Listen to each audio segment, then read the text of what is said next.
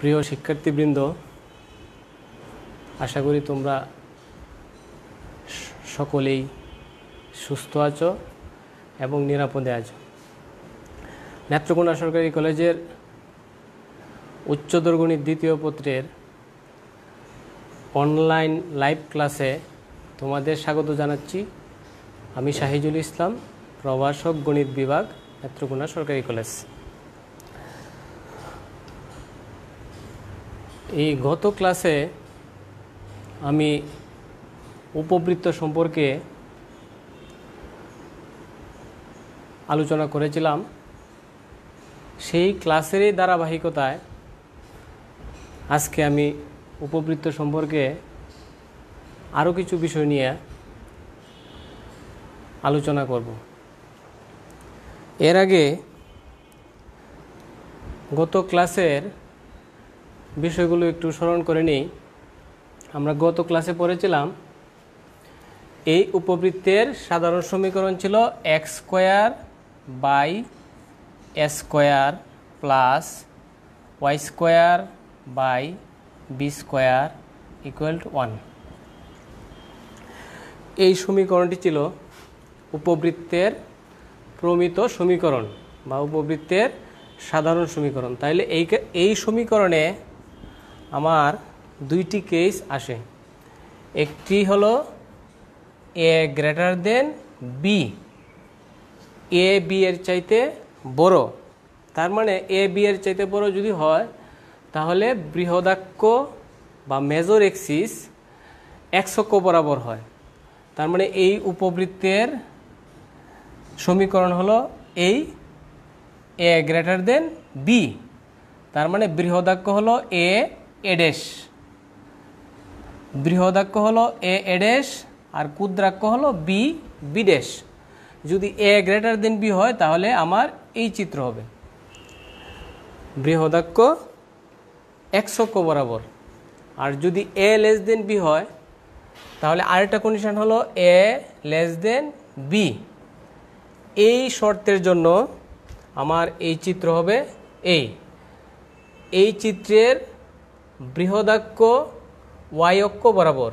B B dash হলো বৃহদাক্ষ ক্ষুদ্রাক্ষ হলো এ এ ড্যাশ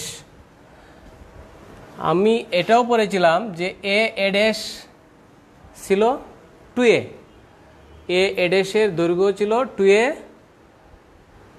সি ছিল মূলবিন্দু। এই সমীকরণের জন্য সি কেন্দ্র হলো মূলবিন্দুতে। জিরো জিরো আর এস এস ড্যাশ উপকেন্দ্রের উপকেন্দ্র ধয়। উপবৃত্তের প্রত্যেকটি দুটি দুটি করে কেন্দ্র ব্যতীত কেন্দ্র একটা, কিন্তু পুকাস বা উপকেন্দ্র দুটি, নিয়ামক বা দিকাক্ষরেখাও দুটি, অক্ষরেখা একটি। আচ্ছা তাহলে এই চিত্রটি সম্পর্কে আমি একটু আলোচনা করে নিই। তাহলে এই চিত্রের আমি যদি এই এই চিত্রের সব, সবগুলো বিষয় অনুধাবন করতে পারি, তাহলে এটা আমি ইজিলি সহজে পারব। তাহলে এই জায়গায় কী ছিল আমরা?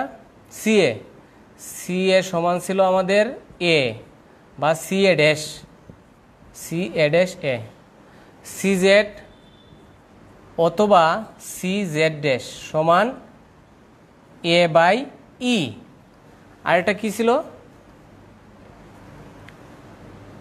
সি এস সি এস অথবা সি এস ড্যাশ সমান হলো এ ই এই বিষয়গুলো ছিল, আর যেহেতু বৃহদাক্ষ এ এ ড্যাশ একশো বরাবর, তাহলে বৃহদাক্যের সমীকরণ ছিল ওয়াই ইকুয়াল টু জিরো যেহেতু ক্ষুদ্রাক্ষ ওয়াই অক্ষ বরাবর, তাহলে ক্ষুদ্রাক্যের সমীকরণ ছিল এক্স ইকুয়াল টু জিরো। বৃহদাক্যের দৈর্ঘ্য এ এ ড্যাশ, ছিল টু এ, আর B B dash, two B. তাহলে এই বিষয়গুলো মোটামুটি আমরা অবগত আছি। এখন আমি আরেকটা বিষয় আলোচনা করব। উপবৃত্তের উপকেন্দ্র এবং নিয়ামক রেখার সমীকরণ বা দ্বিকাক্যের সমীকরণ যদি দেওয়া থাকে, তাহলে উপবৃত্তের সমীকরণ আমরা কীভাবে নির্ণয় করব? তাহলে উপবৃত্তের ধরি উপকেন্দ্র উপকেন্দ্র আলফা বিটা, উপকেন্দ্র দেওয়া আছে আলফা বিটা এবং নিয়ামক। বা দ্বিকাক্য নিয়ামক অথবা দ্বিকাক্যের সমীকরণ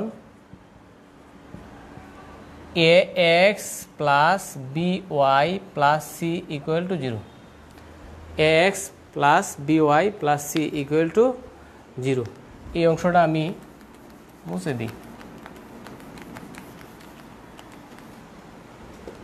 A X plus B Y plus C equal to zero তাহলে আমি উপবৃত্তের সমীকরণ কীভাবে নির্ণয় করব? তাহলে আমি উপবৃত্তের উপরস্থ একটা বিন্দু নিলাম এক্স ওয়াই উপবৃত্তের উপরস্থ বিন্দু নিলাম এক্স ওয়াই উপবৃত্তের উপরস্থ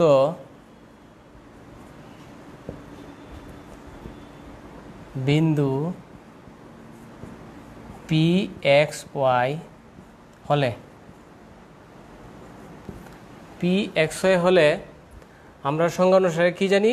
SP by P M equal to E বা ধ্রুবক। প্রিয় শিক্ষার্থীরা, ধ্রুবক সম্পর্কে তোমরা অবগত আছো।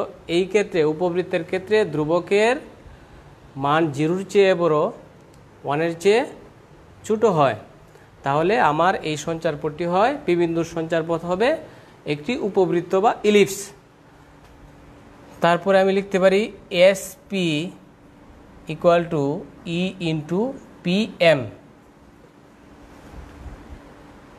আচ্ছা এখন আমি এসপি যেহেতু এস এর স্থানাঙ্ক আলফা বিটা, তাহলে এসপি সমান কত জানি? এস হলো উপকেন্দ্র ধরে নিলাম, আলফা, বিটা। আর সঞ্চার পথের বিন্দু মানে চলমান বিন্দুর সেট হলো এক্স, ওয়াই। তাহলে এস পি ইকুয়াল টু দাঁড়ায় root X minus alpha whole square plus Y minus beta whole square এই এসপি এর দৈর্ঘ্য পেলাম। আর পি এম হলো পি এক্স ওয়াই, পি বিন্দু থেকে নিয়ামকের উপর লম্ব দূরত্ব।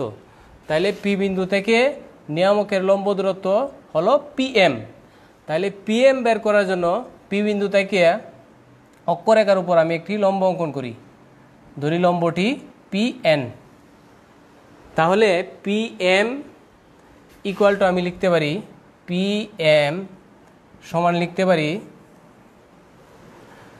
পি এম সমান লিখতে পারি জেড এন জেড এন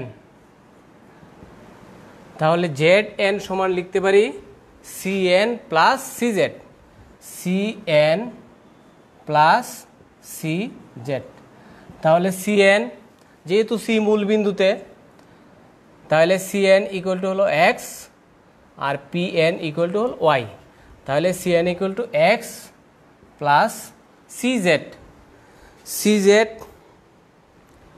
তো আমরা জানি C Z equal to C Z dash সমান এ বাই ই তাহলে সি জেড ইকুয়াল টু লিখব এ বাই ই এই।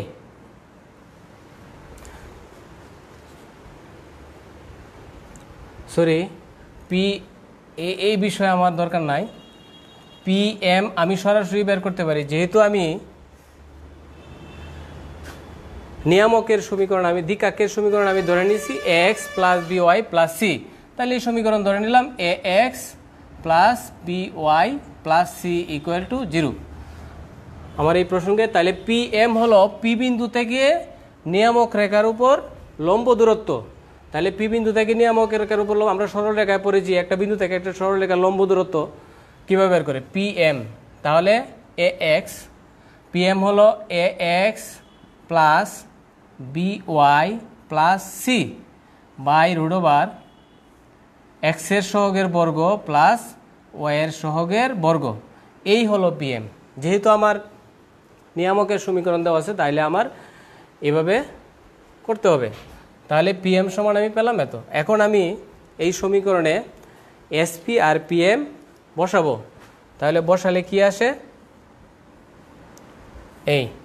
এসপি হলো X minus alpha whole square plus Y minus beta whole square equal to E into PM PM সমান হলো A X B Y plus C by root over square plus B square এই এখন আমি যদি এই সমীকরণটিকে সরল করি, তাহলে আমি নির্ণয় উপবৃত্তের সমীকরণ পাবো। তাহলে সরল আমি কিছু অংশ করে দেই। উভয় পক্ষে যদি আমি বর্গ করি, তাহলে আমার আসে X minus alpha whole square plus Y minus beta whole square equals square A X plus B Y plus C whole square square plus B square, এই। ইহাই আমার নির্ণেয় উপবৃত্তের সমীকরণ, যার উপকেন্দ্র বা পোকাস আলফাবিটা এবং নিয়ামক বা দ্বিকাক্ষের সমীকরণ X plus B Y plus C equal to zero তাহলে এই সিস্টেমটা আমার মনে রাখতে হবে। যদি উপবৃত্তের উপকেন্দ্র নিয়ামক রেখা এবং উৎকেন্দ্রিকতার মান দেওয়া থাকে, তাহলে আমি উপবৃত্তের সমীকরণ এভাবে বের করব। এখন আমি আসি আরেকটা উপবাদ্য নিয়ে।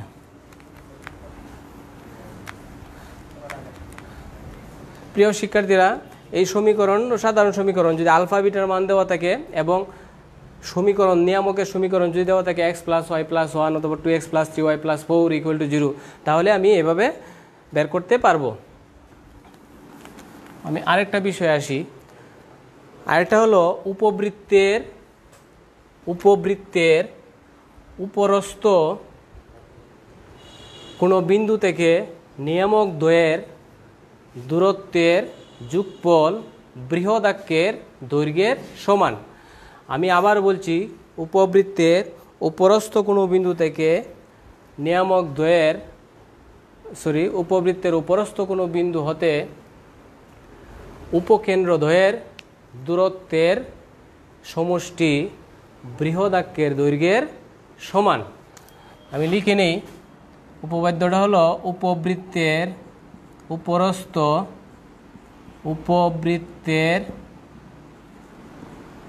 উপরস্থ কোনো বিন্দু হতে নিয়ামক দ্বয়ের সরি নিয়ামক নয়, উপবৃত্তের উপরস্থ কোনো বিন্দু হতে উপকেন্দ্র দ্বয়ের উপকেন্দ্র দ্বয়ের দূরত্বের দূরত্বের যুগফল দূরত্বের যুগফল বৃহদাক্যের বৃহদাক্যের দৈর্ঘ্যের সমান। আমি এটি প্রমাণ করব।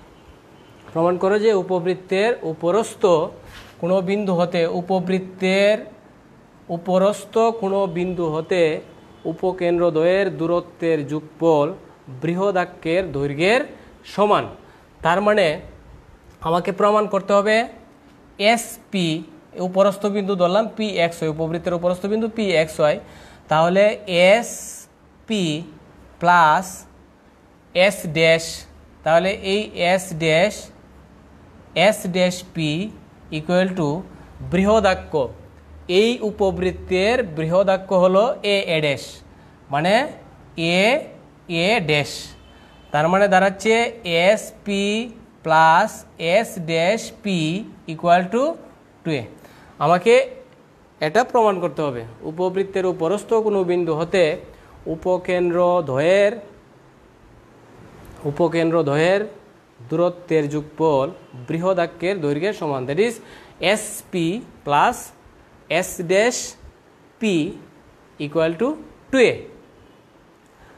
আমার যদি এ গ্রেটার দেন বি হয়, যেহেতু উপবৃত্তের চিত্র দুইটি হয়, একটা হয় এ গ্রেটার দেন বি আর একটা হয় A less than B A greater than A greater than B হলো বৃহদাক্ষ একশক বরাবর আর এ লেস দেন বি হলো বৃহদাক্ষ অয়ক্ষ বরাবর। তাহলে আসি। এসপি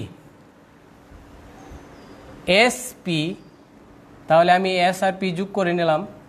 এস পি তাহলে আমি সংজ্ঞা অনুসারে জানি S P equal to E into P M E into P M তখন আর আমার এটা দরকার নাই। ই ইন্টু পি এম তাহলে E P M P M সমান আমি লিখতে পারি জেড এন জেড এন তাহলে ই জেড এন সমান লেখা যায় C N plus C Z C N plus C Z তাহলে আমার আসে কত ই সি এন হলো এক্স সি জেড হলো সি জেড সমান আমার জানা আছে। C Z equal to A by E A by E তাহলে আমার দাঁড়াচ্ছে ই এক্স প্লাস এ আমি এক নং ইকুয়েশন দিলাম। আমি যদি এই এস ড্যাশ নিয়ে চিন্তা করি, তাহলে আমার কি আসে? এস ড্যাশ পি তাহলে আমি সংজ্ঞা অনুসারে লিখতে পারি এস ড্যাশ পি তারপরে লিখতে পারি P M dash S dash আবার লিখতে পারি, আবার এস ড্যাশ পি সমান E into P M dash. তাহলে E P M dash, P M dash সমান লিখতে পারি Z dash N, Z dash N. তারপরে E into Z dash N. Z dash N সমান জেড ড্যাশ এন সমান লিখতে পারি C Z dash minus C N C Z dash minus C N তাহলে ই C Z dash সমান কত? A by E C Z dash minus C N তাহলে A by E minus C N হলো x তাহলে আমার কি আসছে? A minus E X equation two. এই, তোমরা নিশ্চয়ই বুঝেছ। তাহলে আমি যদি এই উপকেন্দ্র ব্যবহার করি, তাহলে S P by P M সমান E that is S P সমান ই ইন্টু পি এম তাহলে ই পি এম সমান লিখতে পারি জেড এন যেহেতু একটি আয়তকার ক্ষেত্র, বিপরীত বাহুগুলো পরস্পর সমান। তাহলে জেড এন আবার জেড এন সমান লিখতে পারি জেড এন সমান লিখতে পারি C N plus C Z কারণ এই জন্যই লিখব সি এন সমান আমার কত? এক্স হবে। আর সি জেড আমি অবগত আছি সি জেড সমান এ বাই ই অথবা সি জেড ডের সমানও এ বাই ই তাহলে এই এস পি ইকুয়াল টু দাঁড়াল ই এক্স প্লাস এ আমি ইকুয়েশন ওয়ান দিলাম। তারপরে এস ড্যাশ পি একইভাবে সমান আসছে এ মাইনাস ই এক্স আমি এক নং, দুই নং ইকুয়েশন যদি যোগ করি ওয়ান প্লাস টু তাহলে আমার কি দাঁড়াচ্ছে? S P plus S dash P সমান। এই দুটি সমীকরণ যোগ যোগ করলে আমার ইএক্স ইএক্স তাহলে আমার থাকতেছে এ প্লাস এ মানে টু এ তাহলে আমার প্রমাণ হলো S dash P S P plus S dash P equal to two A তার মানে টু এ হলো বৃহদাক্ষ। আমি যদি বৃহদাক্ষ ওয়াক্য বরাবর নিয়ে চিন্তা করি, তাহলে S P plus S dash P সমান হবে টু বি এই, এখন আমি আরেকটা প্রমাণ করব।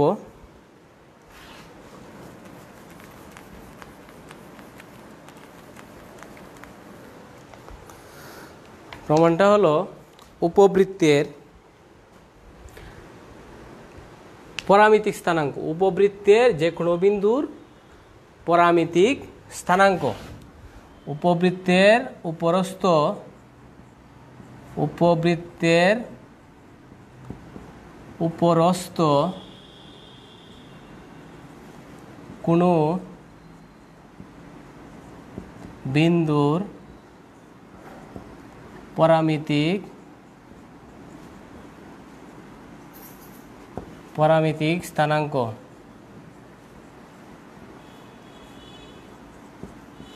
A cos theta B sine theta এটি আমি প্রমাণ করব। উপবৃত্তের উপরস্থ কোনো বিন্দুর প্যারামেট্রিক কোঅর্ডিনেটস হলো A cos theta B sine theta A cos theta B sine theta কীভাবে আসে?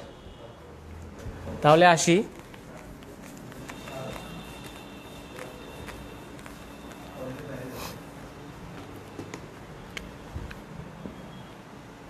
পরামিতিক স্থানাঙ্ক এক অস্থিটা বি সাইন থিটা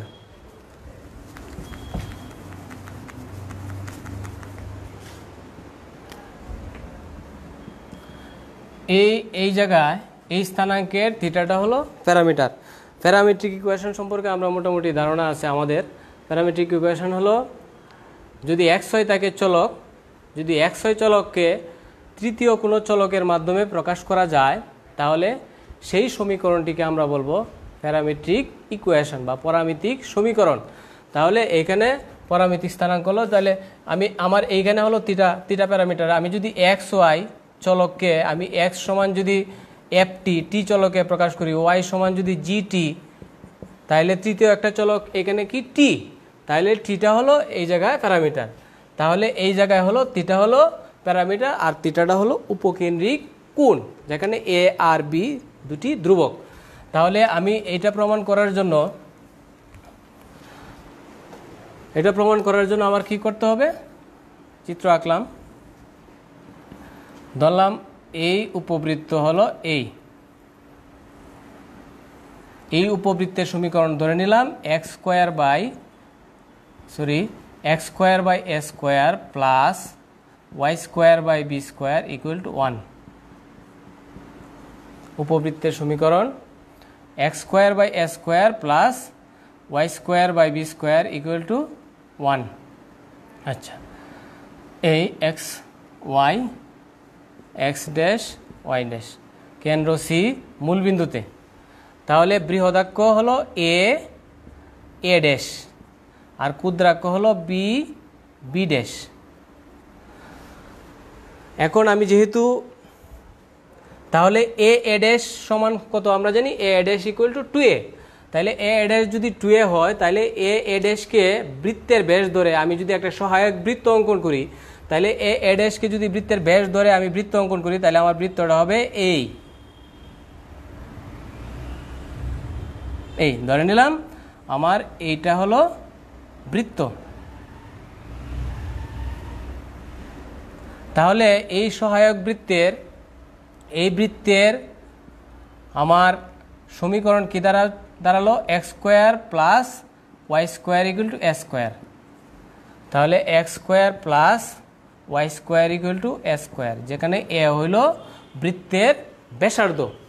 এখন উপবৃত্তের উপরে একটা বিন্দু নিলাম পি এক্স ওয়াই এটা ধরে নিলাম পি এক্স ওয়াই পি থেকে বৃহদাক্ষের উপর লম্ব অঙ্কন করি। তাহলে যেহেতু বৃহদাক্ষ কি? বৃহদাক্ষ হলো এ ড্যাশ পি থেকে বৃহদাক্ষের উপর লম্ব অঙ্কন করি এবং বর্ধিত করি। বর্ধিত করলে সহায়ক বৃত্তটিকে ধরি কিউ বিন্দুতে ছেদ করে।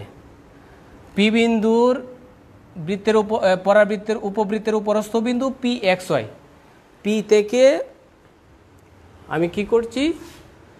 বৃহদাক্ষের উপর লম্ব অঙ্কন করছি। লম্ব পি থেকে এই বিন্দুটা হলো পি পি থেকে পি থেকে আমি বৃহদাক্ষের উপর লম্বঙ্কন করলাম, ধরলাম পি এন এবং বর্ধিত করলে বর্ধিত করলে সহায়ক বৃত্তটিকে আমার কিউ বিন্দুতে ছেদ করে। তাহলে আমি সি কিউ যোগ করি। এই সি কিউ যোগ করলে কিউ সি এন এই কিউ সি এন হলো উপকেন্দ্রিক কোণ। উপকেন্দ্রিক কোণ কিউ সি এন তাহলে উপকেন্দ্রিক কোণের সংখ্যা কী দিব? উপকেন্দ্রিক কোণের সংখ্যা হলো উপবৃত্তের উপরস্থ কোনো বিন্দু থেকে প্রধানক্ষ বা বৃহদাক্ষের উপর লম্বঙ্কন করে বর্ধিত করলে সহায়ক বৃত্তটিকে যে বিন্দুতে ছেদ করে সেই বিন্দু থেকে কেন্দ্রের সংযোজক রেখা প্রধানক্ষের সাথে বা বৃহদাক্ষের সাথে যে কোণ উৎপন্ন করে সেই কোণকে উপকেন্দ্রিক কোণ বলা হয়। তাহলে উপকেন্দ্রিক কোণ যদি কিউ সি এন সমান তিটা হয়, তাহলে আমি ত্রিভুজ ত্রিভুজ কিউ সি এন এ ত্রিভুজ কিউ সি এন এ কী পাই? আমার দরকার কিন্তু সি এন আর পি এন যেহেতু পি বিন্দুর স্থানাঙ্ক এক্স ওয়াই আমি এই সঞ্চার পথের উপবৃত্তের উপরস্থ বিন্দু পি এক্স ওয়াইকে আমি প্যারামিত্রিতে কনভার্ট করব। এই যে উপবৃত্তের উপরস্থ কোনো বিন্দুর পরামিতিক স্থানাঙ্ক, সেটি আমি প্রমাণ করব। তাহলে এই ত্রিভুজ থেকে আমি কি লিখতে পারি? সি এন সমান কত দাঁড়ায়? আমার এই সি কিউ সি কিউ এর দৈর্ঘ্য দেওয়া আছে আমার কত? সি কিউ সমান এ যেহেতু সি কিউ বৃত্তের ব্যাসার্ধ। তাহলে সি কিউ সমান হলো এ তাহলে আমার এ দেওয়া আছে আর সি এন সমান কত? সি এন সমান হলো এক্স সি এন সমান হলো এক্স তাহলে আমি লিখতে পারি C N X equal to X equal to লিখতে পারি সি এন আবার সি এন সমান লিখতে পারি কি? সি এন সমান লিখতে পারি C Q cos theta C Q cos theta তাহলে C Q equal to A তার মানে এ কস তিটা তাহলে এক্স ইকুয়াল টু আমি পেলাম এ কস তিটা আমি X equal to A cos theta যদি এক নং সমীকরণে বসাই মানে উপবৃত্তের সমীকরণে বসাই, তাহলে আমি ওয়াই এর মানটা পাবো। তাহলে এক্স ওয়াই বিন্দু আমার কনভার্ট হবে এক অস্থিটা বি সাইন থিটা তাহলে এক সমান আমি পেলাম এক অস্থিটা এক সমান এক অস্থিটা যদি এক নং উপবৃত্তে বসাই, কারণ এই বিন্দুটি এক অস্থিটা এই উপবৃত্তের উপরে আছে, তার মানে এই বিন্দু দ্বারা এই উপবৃত্তের সমীকরণ সিদ্ধ হবে। তাহলে এক সমান এক অস্থিটা এই সমীকরণে বসালে আমার কি দাঁড়ায়? A cos A square cos square theta A square cos square theta by A square plus Y square by B square equal to one তাহলে Y square by B square equal to one minus cos square theta that is sine square theta তাহলে আমার Y সমান কি দাঁড়াচ্ছে? B স্কোয়ারের দিকে গেলে B sine theta তাহলে আমার হলো পি এক্স ওয়াই উপবৃত্তের উপরস্থ বিন্দু ধরেছিলাম পি এক্স ওয়াই তাহলে পি এক্স ওয়াই কী হলো? P A cos theta B sine theta এই উপবৃত্তের উপরস্থ কোনো বিন্দুর, কোনো বিন্দুতে পরামিতিক স্থানাঙ্ক হলো A cos theta B sine theta এটা হলো আমার প্রমাণ। এখন আমি একটা সমস্যা সলভ করি।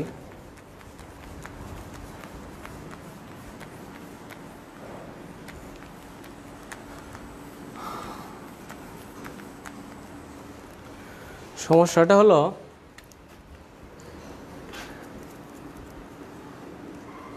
উপবৃত্তের, আমি এটা এটা করি। দেখাও যে দেখাও যে five X square plus nine Y square minus thirty X equal to zero five X square plus nine Y square minus thirteen X to zero সমীকরণটি একটি উপবৃত্ত জিরো সমীকরণ জিরো সমীকরণটি একটি উপবৃত্ত একটি উপবৃত্ত নির্দেশ নির্দেশ করে। এবং এর উপকেন্দ্র নির্ণয় করো।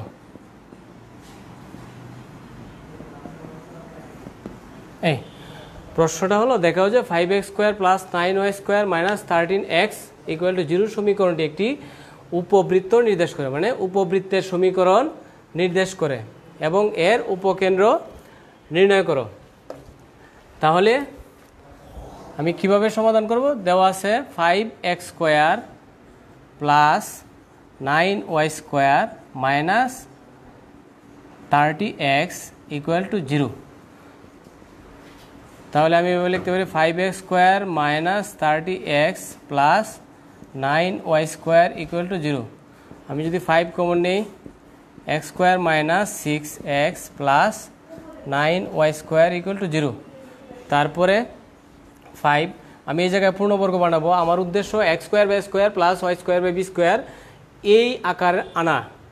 তাহলে এই আকার যদি আনতে হয়, তাহলে এক্স স্কোয়ার মাইনাস সিক্সকে আমার কী করতে হবে? পূর্ণবর্গ রাশি বানাতে হবে। তাহলে পূর্ণবর্গ রাশি বানাতে হলে আমার X square minus two into X into three তাহলে সিক্স এক্স তাহলে প্লাস আমি থ্রি স্কোয়ার দিলাম। প্লাস নাইন ওয়াই স্কোয়ার তাহলে আমি এই জায়গায় বেশি লিখলাম কত? নাইন ইন্টু ফাইভ তার মানে ফোরটি ফাইভ এই পাশে ফোরটি ফাইভ দিয়ে দিলাম।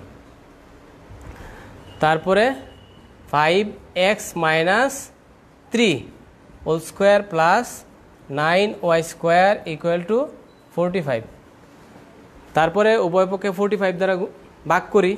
ভাগ করলে X minus three whole square by nine plus Y square by five equal to one তারপরে লিখব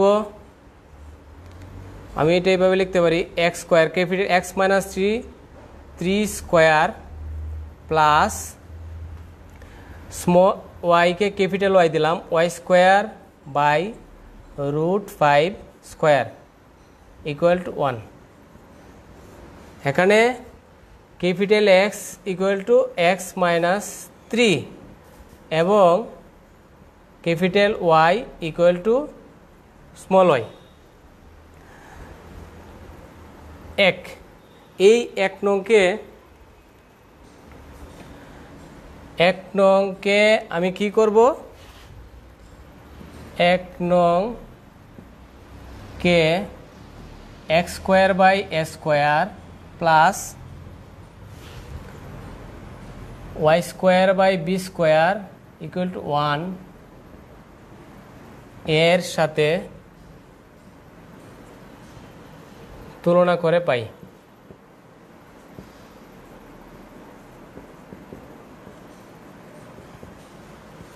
তুলনা করলে এ সমান দাঁড়াচ্ছে থ্রি বি সমান দাঁড়াচ্ছে root five. That is A greater than B তার মানে বৃহদাক্ষ একশক্য বরাবর। এ গ্রেটার দেন বি যেহেতু এ এর মান বি এর চাইতে বড়, তার মানে এক গ্রেটার দেন বি তাহলে বৃহদাক্ষ হবে একশক্য বরাবর। আচ্ছা এখন আমি প্রশ্নে বলেছিলাম, দেখাও যে এত সমীকরণটি একটি উপবৃত্ত নির্দেশ করে। তাহলে এই এক নং সমীকরণ থেকে স্পষ্টত যে প্রদত্ত সমীকরণটি একটি উপবৃত্তের সমীকরণ নির্দেশ করে। তারপরে আমার দ্বিতীয় অংশ দ্বিতীয় অংশ আমার বলা আছে, এর উপকেন্দ্র নির্ণয় করো মানে পুকাস নির্ণয় করো। তাহলে উপবৃত্তের পুকাস কি দুইটি হয়? তাহলে উপকেন্দ্র যদি আমার বের করতে হয়, প্রিয় শিক্ষার্থীরা, তোমরা অবগত আছো যে X square by A square plus Y square by B square equal to ওয়ানের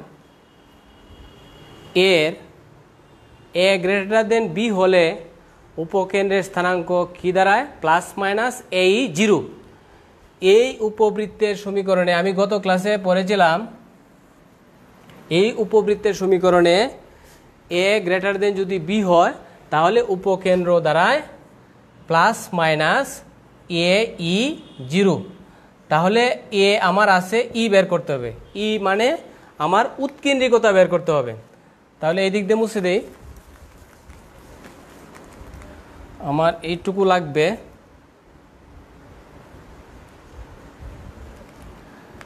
আমার এটাও দরকার নাই।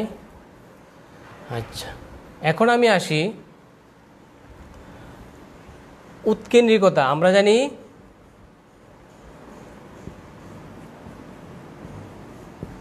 আমরা কি জানি? আমরা অলরেডি জানি বি স্কোয়ার সমান a square into one minus square তাহলে b square by a square সমান ওয়ান মাইনাস স্কোয়ার তাহলে square equal to one minus b square by square তাহলে ই ইকুয়াল টু লিখতে পারি root over one minus b square by square আমি সরাসরি এটা বসাই দিই।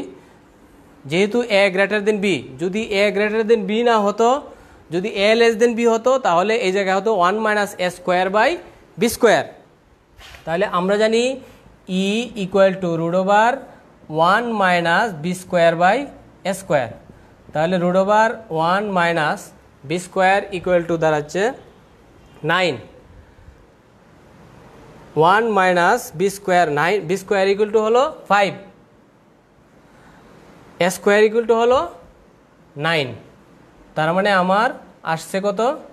Four root over four by nine that is two by three তাহলে e equal to পেলাম টু বাই থ্রি আমার এই ই লাগবে।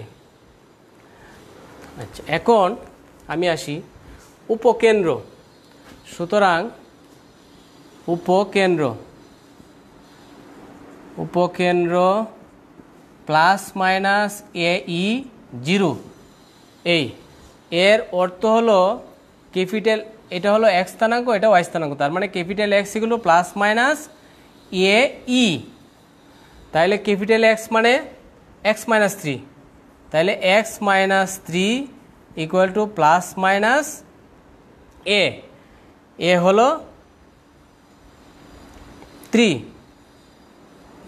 ই।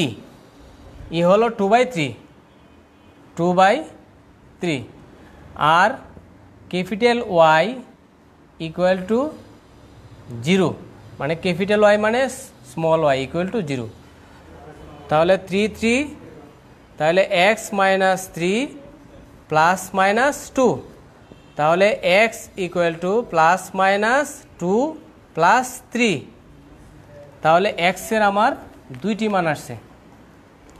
সুতরাং x equal to five one সুতরাং নির্ণয়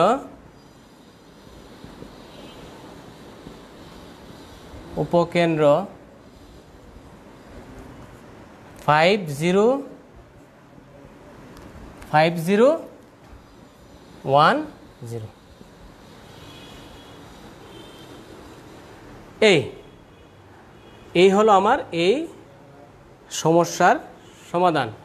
প্রিয় শিক্ষার্থীরা, আশা করি তোমরা বুঝতে পেরেছ। আমি উপবৃত্ত সম্পর্কে গত সপ্তাহে একটা নিয়েছিলাম, আজকে একটা, আগামী দিন কিছু প্রবলেম সলভ করব। এই পর্যন্ত তোমরা সুস্থ থাকো, নিরাপদে থাকো। ধন্যবাদ সবাইকে।